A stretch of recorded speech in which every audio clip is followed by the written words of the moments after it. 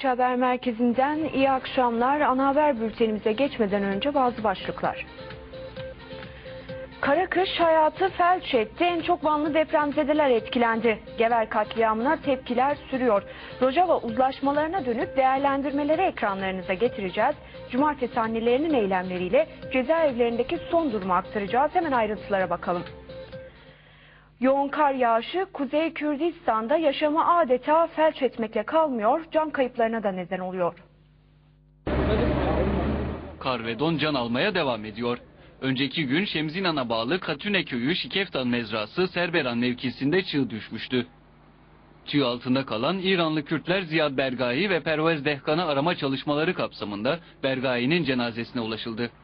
Silopi'ye bağlı Sorvat'ın köyünde kalan Koçerlerin çadırları çökünce yardıma BDP'li belediyeye bağlı ekipler ulaştı. Cudi Dağı kesiminde ise dört köye ulaşım sağlanamıyor. BDP il örgütü tarafından karşılanan mağdurlar Uludere Devlet Hastanesi'ne kaldırıldı. Cizir'de kar yağışı nedeniyle 3 gündür kapalı olan Nisebin Cizir Karayolu dün akşam geç saatlerde trafiğe açıldı. BDP'li belediye ekiplerince açılan yolda mahsur kalan tüm araç sahipleri memnuniyetlerini dile getirdi. Merdin'in Derik Mazıdağ arasındaki karayolunda yoğun kar yağışından dolayı çok sayıda araç mahsur kaldı. Ahmet'in kırsal kesimlerinde 800'e yakın köy ve mezranın elektriklerinin kesik olduğu, kent merkezinde de elektriklerin kesildiği belirtildi. Çevlik'te 3 gündür etkili olan kar yağışı nedeniyle il ve ilçelere bağlı tüm köy yolları ulaşıma kapalı. Sert ve ilçelerinde kar yağışı dün akşam itibariyle etkisini kaybetti. Kent genelinde 200 köy yolu ulaşıma kapandı. Eruf Karayolu'nun 30. kilometresinde 180 küçükbaş hayvan telef oldu. Hesher ilçesine bağlı köylerde kar kalınlığı 3 metreyi buldu ve yollar tamamen kapandı.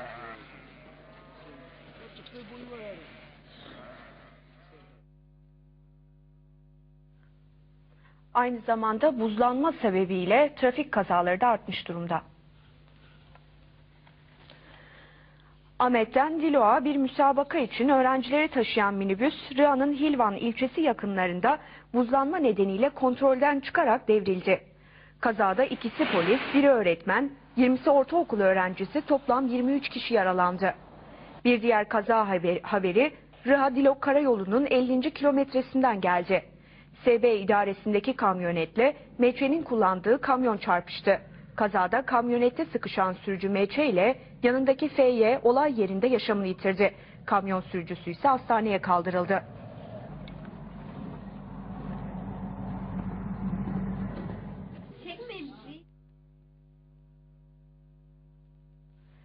Van üşüyor bu sloganı sosyal medyada yayınlanan eylem fotoğraflarından hatırlarsınız. Bu fotoğraflar birçok kesimi harekete geçirdi. Alzela, Met ve İstanbul Mezopotamya Kültür Merkezi Mekeme sanatçıları da Van için eylem yaptı. Aralarında Ferhat Tunç, İbrahim Roşelat, Ali Geçimli gibi isimlerin bulunduğu bir grup sanatçı, Van depremzedelerinin sorunlarına dikkat çekmek için Galatasaray Lisesi önünde Van için üşüyoruz eylemindeydi. Grup adına konuşan sanatçı Ferhat Tunç, halkın yaşadığı konteynerlarda elektrikler kesildi. Çadır kentlerde ise 200'e yakın yangın çıktı. İnsanlar ısınmak isterken dondular, öldüler dedi. Tunç'un konuşması ardından sanatçılar şarkılar eşliğinde eylemlerine son verdi. Son olarak şöyle haykırıyoruz. Van halkını açlıkla, soğukla... Tüm bu duyarlılıkların yanında Van Valiliği'nin depremzedelere yönelik saldırgan yaklaşımı ise devam ediyor. Van Valiliği'nin konteyner kentleri boşaltmak istemeyen depremzedelere yönelik işkencesi devam ediyor. 4 ay önce elektrik kesmeyle cezalandırılarak yaşamları zehir edilen depremzedeler direnişe başladı. Vanlı BDP'li Van Belediyesi de depremzedelerin elektrik masraflarını karşılayacağını taahhüt etti. Ancak VEDAŞ'a başvurulmasına rağmen elektrikleri halen açılmadı. VEDAŞ'ın özel bir şirket olmasına rağmen valilikten izin beklenmesi halkı çileden çıkardı. Van İl Koordinasyon Kurulu Van Valiliği ve AFAD tarafından bulundukları konteynerları boşaltmaları için elektrikleri kesilen ve 111 gündür açlık grevinde olan depremzedeler için basın açıklaması düzenlendi. Fethiye Teyran Parkı'nda düzenlenen açıklamaya BDP Kent Milletvekili Özdal Üçer de katıldı. Üçer, Van Valiliği ve, ve AFAD Depremzedeler için bir çözüm geliştirmediği gibi depremzedeleri ölüme terk etmiştir dedi. Değil, hele el atıyla zenginler çıkıyor. El atıyla torpiller çıkıyor.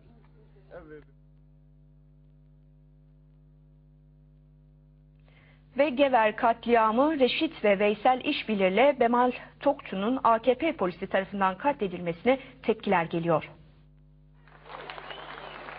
Gever katliamına tepkiler en üst boyutta.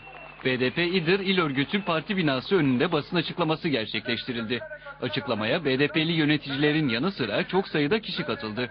BDP İl Eş Başkanı Mehmet Anar, paralel devlet yapılanmasının barış sürecinden rahatsız olduğu için süreci sabote ettiğine dikkat çekti. Aynı amaçla Dersim'de de BDP Gençlik Meclisi Sanat Sokağı'ndan Seyit Rıza Meydanı'na yürüyüş gerçekleştirdi.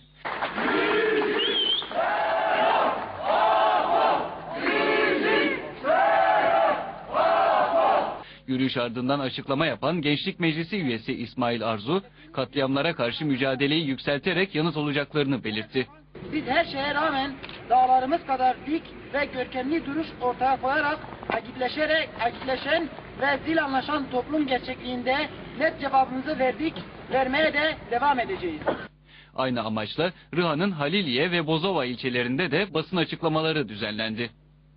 Dilok'ta ise İHADE Şubesi Yeşil Su Parkı'nda basın açıklaması, Barış Anneleri İnisiyatifi üyeleri ise BDP Şahin Bey ilçe örgütü binasında basın toplantısı düzenledi.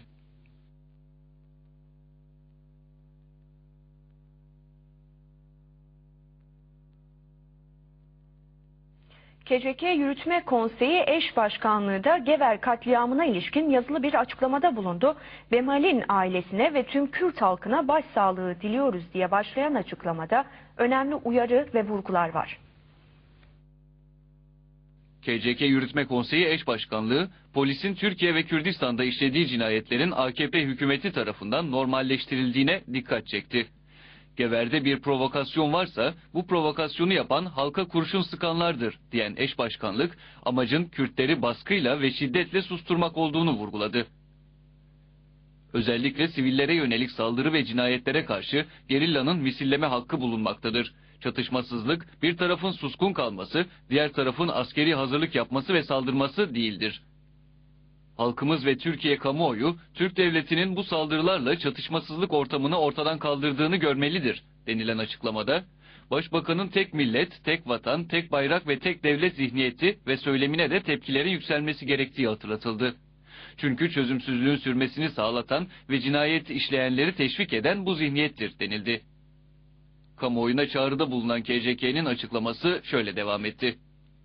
Halkımız kesinlikle bu cinayetlere sessiz kalmamalıdır. Bu cinayetlerin normalleşmesine izin vermemelidir. Yoksa bu cinayetler devam eder. Bu nedenle halkımız her yerde sokaklara çıkarak Gever'deki cinayetleri protesto etmeye devam etmelidir. Eşbaşkanlık hükümeti de uyardı.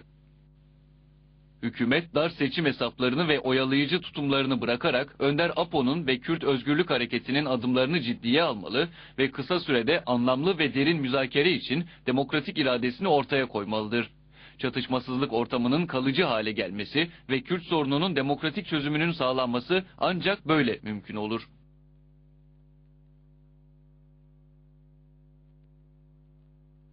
Gever katliamını ezilenlerin Sosyalist Partisi Genel Başkanı Figen Yüksekdağ şu sözlerle değerlendirdi. Asker ya da gerilla insanın kaybıyla, kayıplarla, fail meçhullerle, infazlarla artık karanlık bir çukura dönmüş yine mevcut AKP iktidarı tarafından bilinen yöntemlerle biraz daha belki revize edilmiş yöntemlerle muhatap alındı. Gever'de şunu çok net bir biçimde görebiliriz. Gever katliamı tartışılırken şu tip şeyler söyleniyor. İşin içerisinde derin devlet olduğu, bunun ciddi bir provokasyon anlamına geldiği tartışılıyor. Geber katliamının ciddi bir provokasyon olduğu kesin elbette. Ancak bunun içerisindeki AKP iktidarının sorumluluğunu görmemek, Gever ve Gever'deki devletin yüzünü yeterince anlayamamak anlamına gelir. Bugün AKP iktidarı devlet içerisinde kurduğu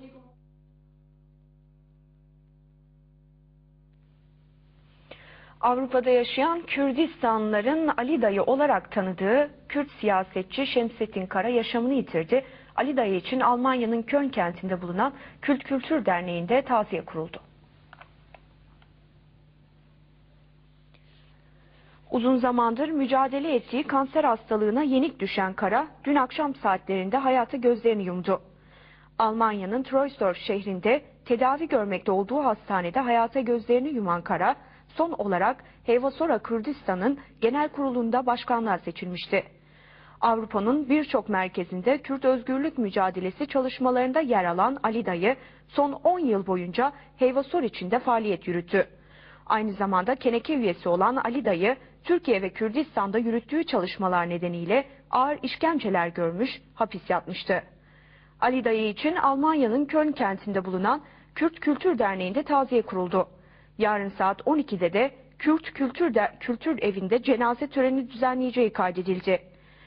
Avrupa Kürt Demokratik Toplum Kongresi Şemsettin Kara için başsağlığı mesajı yayınladı.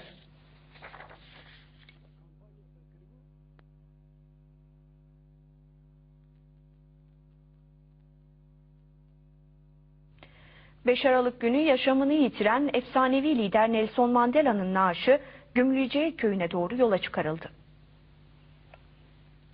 Mandela'nın tabutu iktidardaki Afrika Ulusal Kongresi bayrağına sarıldı ve çocukluğunu geçirdiği Kunu köyüne götürülmek üzere başkent Pretoria yakınlarındaki hava üssüne götürüldü. Güney Afrika'nın demokratik olarak seçilmiş ilk lideri olan Mandela'nın naaşı yarın toprağa verilecek. Mandela'nın katafalka konulmuş naaşının önünden 3 gün içinde en az 100 bin kişinin saygı geçişi yaptığı tahmin ediliyor. 10 günlük cenaze töreni kapsamında salı günü çok sayıda liderin katılımıyla 95 bin kişinin FNB stadyumunda anma etkinliği düzenlemişti. People throughout South Africa.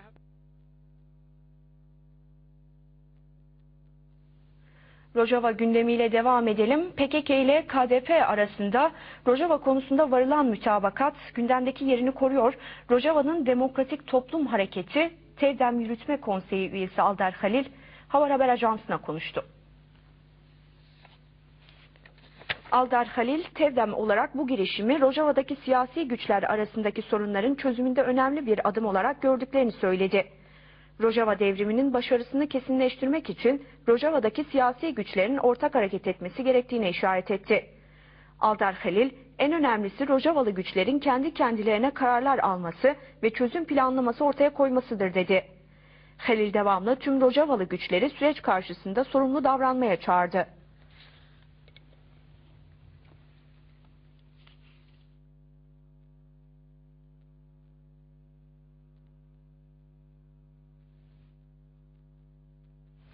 ...10-17 Aralık İnsan Hakları Haftası'ndayız.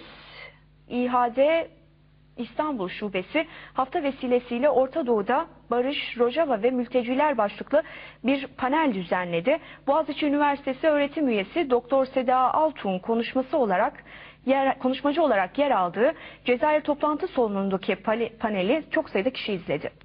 Türkiye'de Orta Doğu tartışılırken aslında Orta Doğu tartışılmıyor, Türkiye tartışılıyor. Sürekli Türkiye'deki çatışma noktaları üzerinden, Türkiye'deki toplumsal meseleler üzerinden Orta Doğu'ya bakılıyor fazlasıyla. Ee, birazcık bunun dışına çıkıp, yani mesela Kürt meselesi tartışılır, tartışılırken de yine fazlasıyla devlet merkezli, yine Ankara merkezli tartışılıyor. Altu sunuma böyle başladı.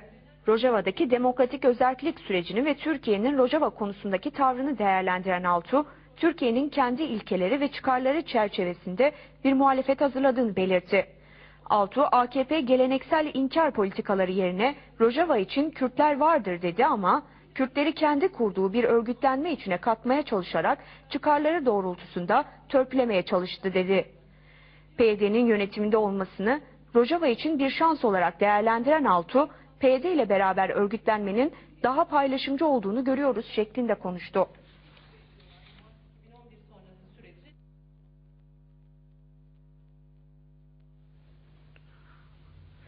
Kürt halkı çeşitli tarihlerde yaşamlarını yitiren gerillaların yani evlatlarının mezarlarını inşa mücadelesi yürütüyor. Şu ana kadar başta Ahmet'in Lice, Cölemergin Gever, Agri, Şırnak ve Merdin olmak üzere birçok kentte şehitlikler inşa edildi.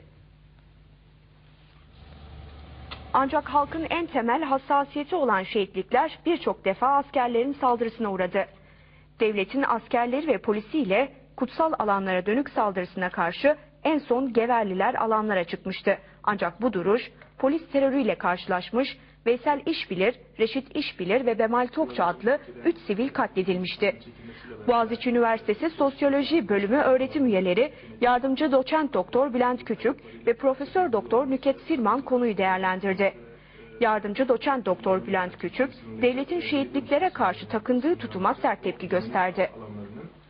e, boşalmasıyla veya görece boşalmasıyla beraber hükümetin e, gerilanların mezarlıklarına karşı e, e, yaptığı farklı kanallar üzerinden yaptığı saldırılar Türkiye Gürcistan'dan çekilmesiyle beraber e, boş bırakılan, boş kalan alanları hükümetin e, güvenlik aygıtlarıyla gittikçe dolduruyor olması, işte yeni karakolların yapılması e, ve gerilanın hareketini sınırlayacak veya geri dönüşünü sınırlandıracak o egemenlik alanlarının e, boşalmasıyla veya görece boşalmasıyla beraber hükümetin e, gerilanların mezarlıklarına karşı e, e, yaptığı farklı kanallar üzerinden yaptığı saldırılar hali hem çözüm sürecine dönük olan inancı endişeyi gittikçe arttırdı. Zaten var olmayan e, güvenin gittikçe e, daha da fazla derinlemesine sebep oldu, derinleşmesine sebep oldu diyebiliriz.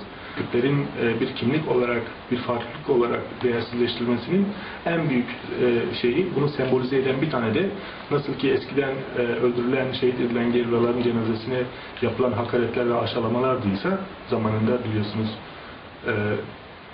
şehit edilen gerillaların cenazeleri üzerinden devletin meydanlara getirip onu teşhir etmesi meselesi nasıl bir aşağılama biçimiydiyse insanların değer verdikleri sadece kendi çocuklarına verdikleri değerin ötesinde aynı zamanda e, Kürdistan'daki yaygın olan kültür içerisinde ki bütün kültürler içerisinde de ölülere, öldürülen ve şehit edilen insanlara karşı verilen bir değer vardır. Onun bir ritüeli vardır.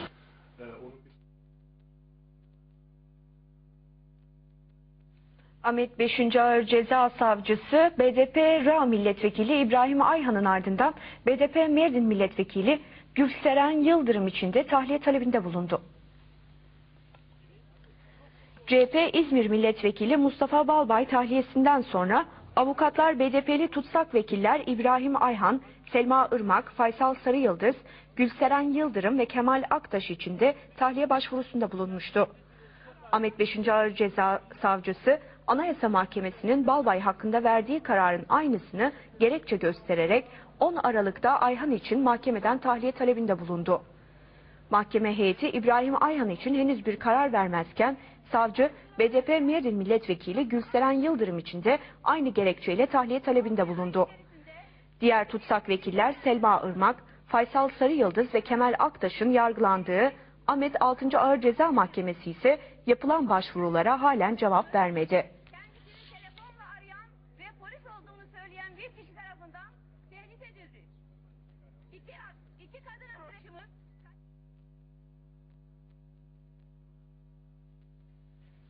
Cezaevlerinde başta hasta tutsaklara yönelik her geçen gün yeni bir işkence metodu ortaya çıkıyor. Bu işkenceler tutsaklar kadar ailelere de olumsuz etkiliyor. Haberimizi paylaşacağız. Hemen öncesinde hasta tutsakların sesi olan Tuat FET ve Tuat eylemleriyle kampanyalarının gidişatına bakalım. Tutuklu ve hükümlü aileleriyle Yardımlaşma ve Dayanışma Dernekleri Federasyonu Tuhat Dervan Şubesi, hasta tutsakların durumuyla cezaevlerindeki koşullara ve sürgünlere düzenlediği panelle dikkat çekti. Panele konuşmacı olarak katılan temsilci Fevzi Can, zindan direnişlerine sahip çıkma çağrısı yaptı. Adli Tıp Kurumu'nun tarafsızlığının sağlanması gerektiğini belirten Can, tutsakların tedavi koşullarının oluşturulmasını ve cezaevlerinin sivil denetimlere açılmasını istedi. Tuad Fed'le Tuad dün Galatasaray Lisesi önünde bir basın açıklaması yaptı.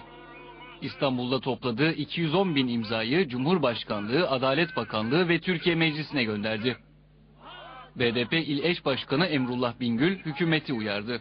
Başta Cumhurbaşkanı, Başbakan, Adalet Bakanı'ndan talep ediyoruz. Hasta tutsaklar derhal serbest bırakılmalı. Serbest bırakılmalı ki yürütülmekte olan demokratik çözüm süreci daha iyi bir noktada yürüme şansı da olmuş olur. Çünkü şunu iyi biliyoruz. Türk Halk Önderi Sayın Abdullah Öcalan görüşmelerinde şunu ifade ediyor. Hükümetin bu sürece yönelik samimiyeti hasta susaklara yönelik tavrından geçecektir diyor. Galatasaray Lisesi önünde 91. kez bir araya gelen F oturma eyleminin aktivistleri hasta tutsaklardan Kemal Gömi'nin durumuna dikkat çekerek özgürlüğünü istedi. Öte yandan cezaevlerinde her gün yeni bir baskı metodu uygulanıyor. Son zamanlarda 24 saat boyunca yapılan kamera işkencesi Burdur cezaevinde kalan PKK'li tutsakları bezdirdi. Geçtiğimiz ay kameraları kırdıkları gerekçesiyle tutsaklara hücre, iletişim ve 400 TL para cezası verildiği öğrenildi. Tutsaklara yönelik uygulamalar aileleri de mağdur ediyor. Tekirdağ F tipi kapalı cezaevine sürgün edilen 61 tutsaktan Ali Benek'in annesi felç geçirdi. Ağabey Mehmet Benek, Cevher Ana'nın Ali Benek'in 22 yıllık cezaevi süreci sonrası bir de sürgün işkencesine maruz kalmasını kaldıramadığını ifade etti.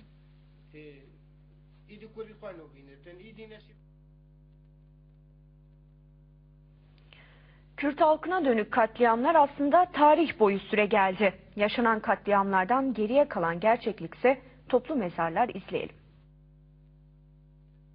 1925 Şeyh Said isyanı sürecince işlenen katliamın belgeleri toplu bir mezar. Karakoçan'la Palu ilçelerine bağlı olan Nişanyan, Tirkan ve Sarcon köylerinden alınarak katledilen 16 köylüye ait toplu mezarın olduğu kaydedildi. Toplu mezar, katliamdan yaralı olarak kurtulan ve 1980 yılında yaşamını yitiren Mustafa Yıldız'ın ifadelerinden yola çıkılarak bulundu. Yıldız'ın torunu Mecit Yıldız, kemiklerin hangi tarihte ve nasıl toplandığını anlattı. katliamdan hemen yani 2-3 gün sonra bir hafta sonrasına e, köye haber geliyor. Kadınlar geliyor. Kemikleri buralarda topluyorlar. Ve buraya taş gömü yapıyorlar. E, bu gömünün üstünde de artık öyle kalıyor. Bunu 2001'de, 2001'deydi. Biz geldik. E, bunun etrafını bu demirleri getirdik, ördük. Yani bunu kadınlar o zamanlar e, 1926 mıdır? 26'da o zamanlar kadınlar gelip topluyorlar kemikleri. O dedem anlatıyor yani her zaman geliyordu üstüne. Burada nerede vurulduğunu da hepsini e, anlatıyordu bizlere. Nenem onlar da hep anlatıyor. Gelip kemikleri tut, toplamışlardı burada kadınlar. Birebir gelip toplamışlar kemikleri. E, onlar da anlatıyorlardı.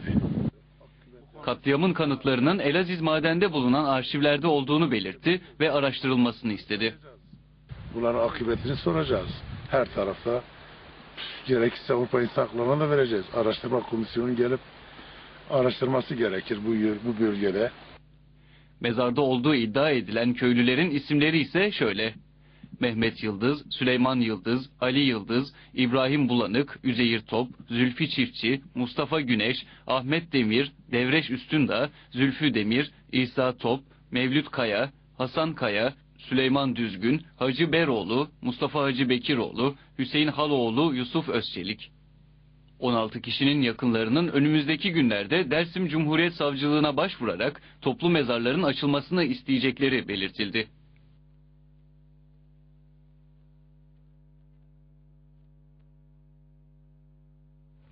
Bugün cumartesi. Alanlar yine kaybedilenlerin hikayeleriyle inledi. Anneler İstanbul'da 455. kez Galatasaray Meydanı'ndaydı.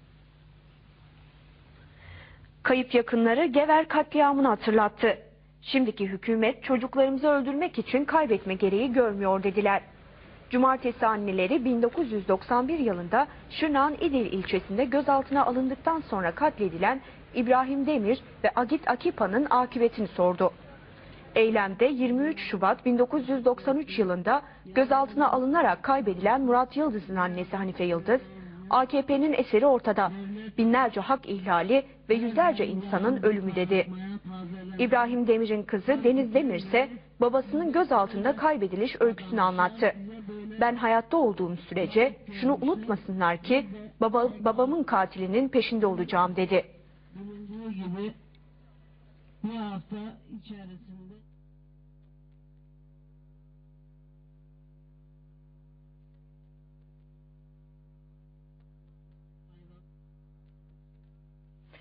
...2009 yılında DTP kapatılmış alanlara çıkan halkın tepkisi polis terörüyle bastırılmıştı. Muş'un Kop ilçesinde ise JITEM bağlantılı köy korucuları Necmi Oral ve Kemal Ağaca'yı katletmişti. O katliamın üzerinden tam 4 yıl geçti. İlçe halkı günü protestolarla karşıladı.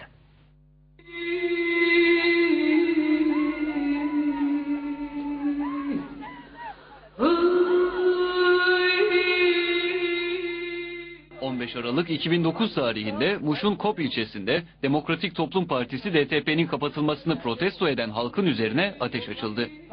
Korucu Turan ve Metin Bilen kardeşlerin açtığı ateş sonucu Necmi Oral ve Kemal Ağacı adlı iki kişi yaşamını yitirdi, onlarca kişi de yaralandı. Protesto gösterisine katılanlardan 50 kişi gözaltına alındı ve çoğunun hakkında kamu malına zarar vermek ve örgüt üyesi olmak iddialarıyla onar yıl hapis cezası verildi. Bilen kardeşlerse Ankara 9. Ağır Ceza Mahkemesi tarafından meşru müdafaa gerekçesiyle serbest bırakıldı. Dicle Haber Ajansı'na konuşan Rahmi Oral, Tahir Ağaca ve Efendi Doğru, devletin katillere sahip çıkmasına tepki göstererek, katillerin serbest bırakılması katliamın devlet eliyle yapıldığını kanıtlıyor, dedi. Sen kardeşimi katilsen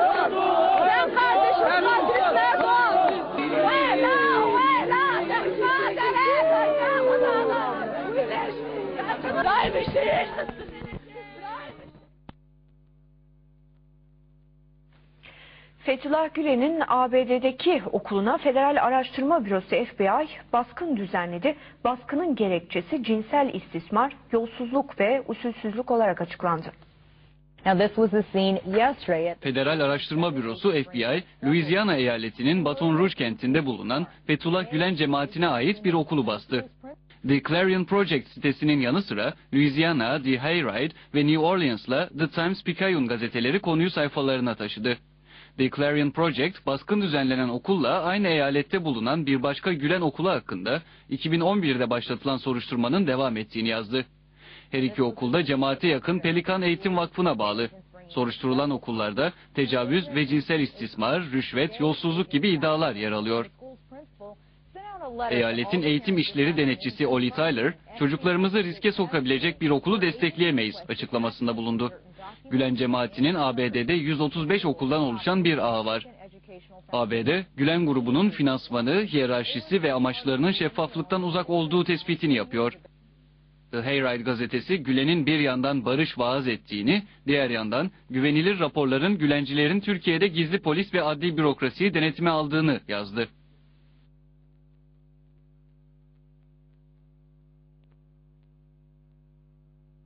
Irak'ta saldırı, patlama ve ölümlerin sonu gelmiyor. Bağdat'ın 80 kilometre kuzeyindeki Bakuba kentinde doğalgaz boru hattına saldırı düzenlendi. Saldırının Muktadiye kasabasındaki Sünnilerin yoğun yaşadığı bölgede meydana geldiği belirtildi. Boru hattının uzatılması için çalışan 15'i İranlı, 3'ü Iraklı 18 kişi öldürüldü.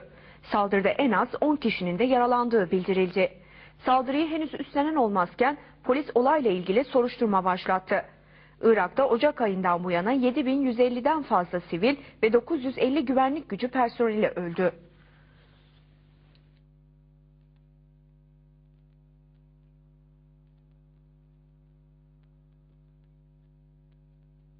Günün gelişmelerini aktardık. Görüşmek dileğiyle. Hoşçakalın.